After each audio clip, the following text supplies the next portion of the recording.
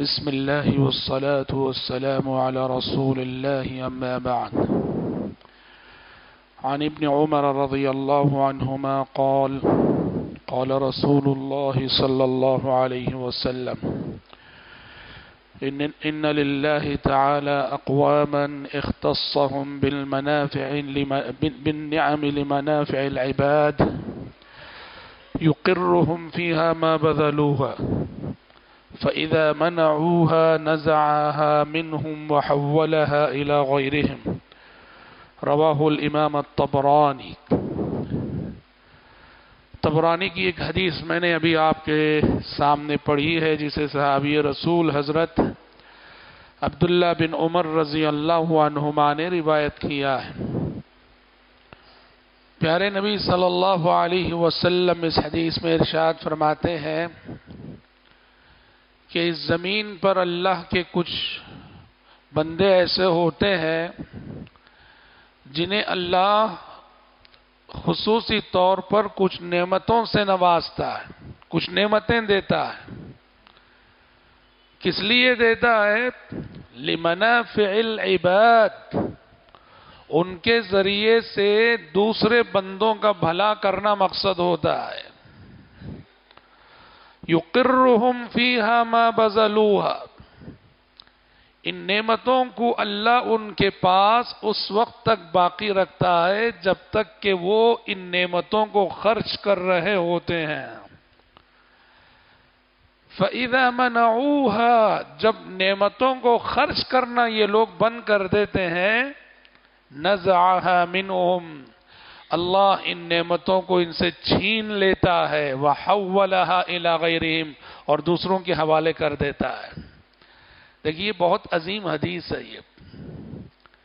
आपको कोई नेमत मिली है, मुझे कोई नेमत मिली है, आपको अल्लाह ने किसी नेमत से नवाजा है, मुझे अल्लाह ने किसी नेमत से नवाजा है तो अल्लाह तबारक व का मकसद यह है कि आपके ज़रिए से दूसरों का भला करना आपको दिया है। लेकिन आपको इसलिए दिया है कि आपके ज़रिए से दूसरों का भला करना है। आपको माल से नवाजा है, ताकि आप उसके बंदों पर खर्च करें। किसी को इल्म से नवाजा है, ताकि वो उसके बंदों पे इल्म खर्च करे, रहनुमाई करे। किसी को ओहदे और मनसब से नवाजा है, ताकि वो अपने ओहदे और मनसब का इस्तेमाल करके अल्लाह के बंदों का भला करे। किसी को असर रसूख से नवाजा है, ताकि असर रसूख की इस नेमत को इस्तेमाल करके वो मजलूमों के काम आए। युकिर्रुहुम फीहा मा बजलुहा।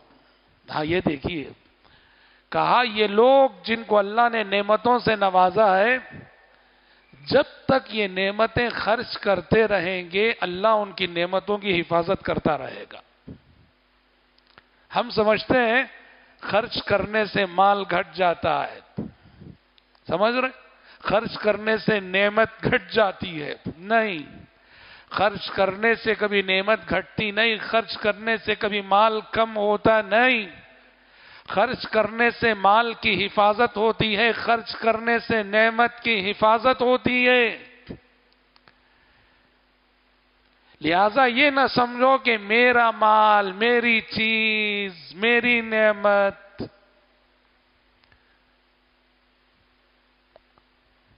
आपने तिरमिजी की वो हदीस सुनी, प्यारे नबी के जमाने में दो भाई थे।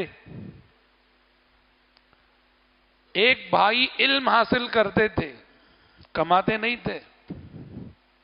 दूसरे भाई बिज़नेस करते थे, कारोबार करते थे। और कमाकर इल्म हासिल करने वाले भाई पर खर्च किया करते थे। एक मरतबे ये खर्च करने वाले भाई ने प्यारे नबी की खिदमत में हाजिर होकर शिकायत की। कहा कि अल्लाह के नबी, देखो ये मेरा भाई है ना, ये कुछ भी कमाता नहीं। सुबह से शाम तक इल्म हासिल करने में लगा रहता है। मुझे इस पे खर्च करना पड़ता है। प्यारे नबी ने क्या जवाब दिया?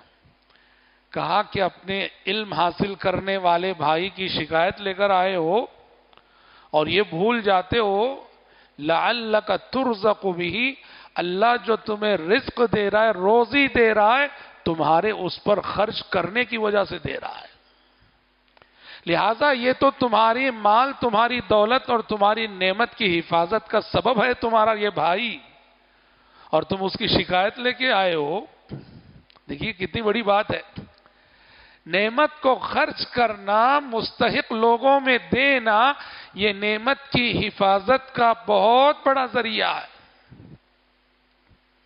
फरमाते हैं प्यारे नबी सल्लल्लाहु अलैहि वसल्लम फ़ैदा मन नज़ाहा मिनहुम वहवलहा इला गैरिहिम। जब लोग नेमत वाला इंसान इस नेमत को खर्च करना बंद कर देगा, अल्लाह इस नेमत को छीन लेता है।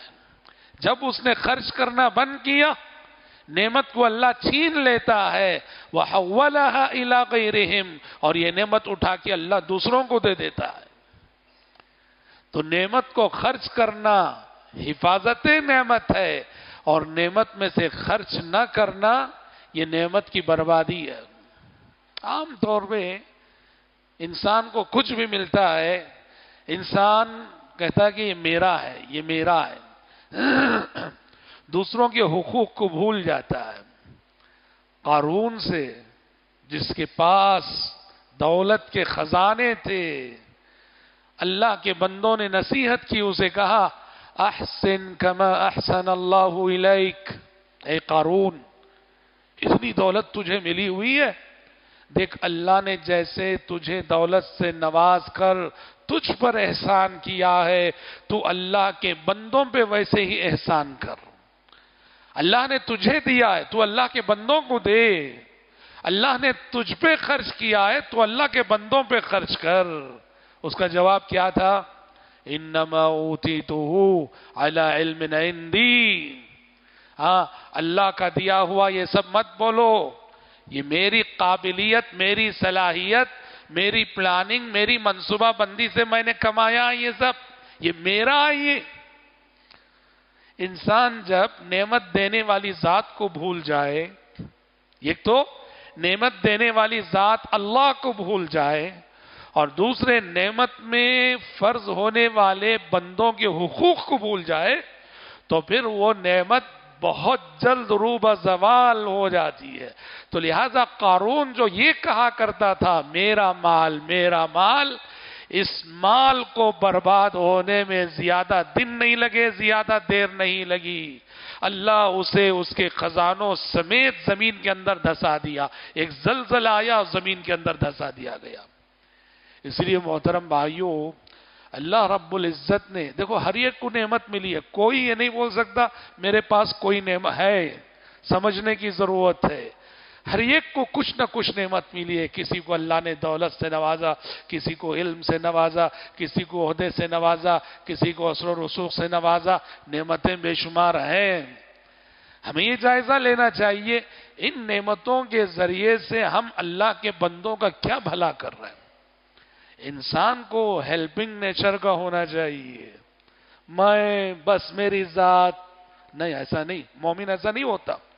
जो अल्लाह के बंदे अल्लाह पर ईमान रखते हैं, किताब और सुन्नत पर अमल करते हैं, उनकी शख्सियत दूसरों के लिए नफ बख्श होती है। प्यारे नबी का जो सच्चा उम्मती होता है, वो हमेशा दूसरों का भला सोचता है। इसलिए कि प्यारे नबी की अजीम सुन्नत और आपके अखलाक व किरदार का बहुत बड़ा पहलू ये था कि आप सल्लल्लाहु अलैहि वसल्लम की ज़ात से, आप सल्लल्लाहु अलैहि वसल्लम के ज़रिए से हमेशा दूसरों का भला हुआ करता था, दूसरों का भला करने की, दूसरों का भला सोचने की तालीम। प्यारे नबी ने हम सबको दी है।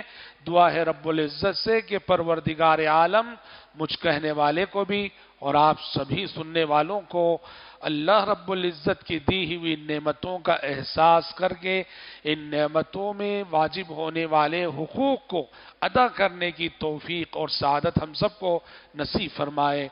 अल्लाह आमीन। व आखिर दावाना अलहमदिल्ला रब्बिल आलमीन।